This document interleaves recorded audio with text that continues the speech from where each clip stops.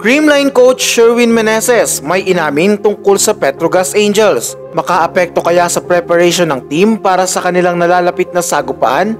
Pero before we begin, please don't forget to subscribe, like, and comment on this video. I-click din ang notification bell para lagi kayong updated sa Creamline happenings.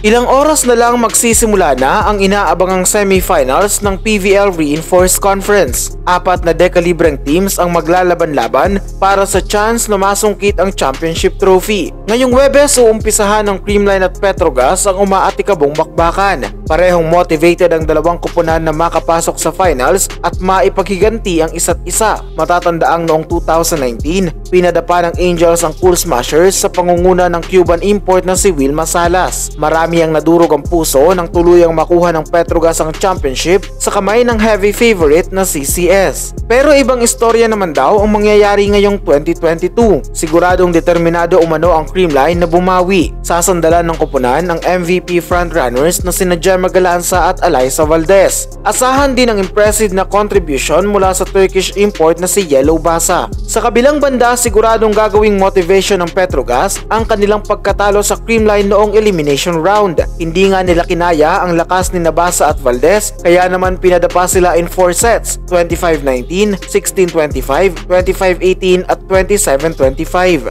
Asahan ng magiinit palalo ang import na si Lindsay van der Weide na kailan lang ay ipinahayag ang kanyang kagustuhan na makabawi sa Cool Smashers. At para magabayan kayo sa magiging laban ngayong Webes, narito ang tail of the tape ng parehong kupunan base sa latest available stats.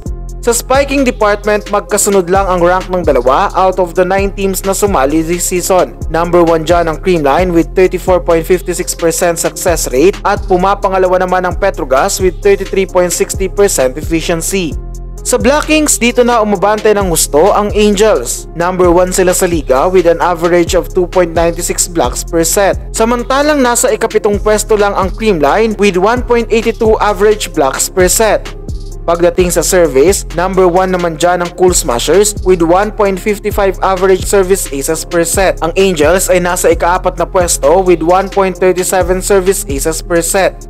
Kung digging naman ang pag-uusapan, dito na nakalayo ang Creamline mula sa defending reinforced champs. Ranked number 1 ang CCS habang second to the last naman ang Petrogas. Liyamado rin ang Cool Smashers sa setting at receiving. Number 1 best setting team ang Creamline habang nasa ikalimang pwesto lang ang Angels. Number 2 din sila sa receiving department habang nasa ikaapat na pwesto ang kupunan ni Van der Weide. Kung pagbabasehan ang stats, masasabing may advantage nga sa attacking at floor defense ang Creamline. Pero bilog naman umano ang bola at posibleng mas gumana pa ang blockings ng Angels at ito pa ang makatalo sa Cool Smashers. Samantala sa isang panayam with media reporters, may inamin si Coach Sherwin Meneses tungkol sa unang makakasagupa nila this semifinals. Ayon sa kanya, back to zero na umano ang team at mas lalo silang naghahanda ngayon. Aware daw si Coach sa malaking improvement ng Petrogas mula nang huli silang magkaharap kaya naman asahan daw ang magandang bakbakan ng dalawang kupunan.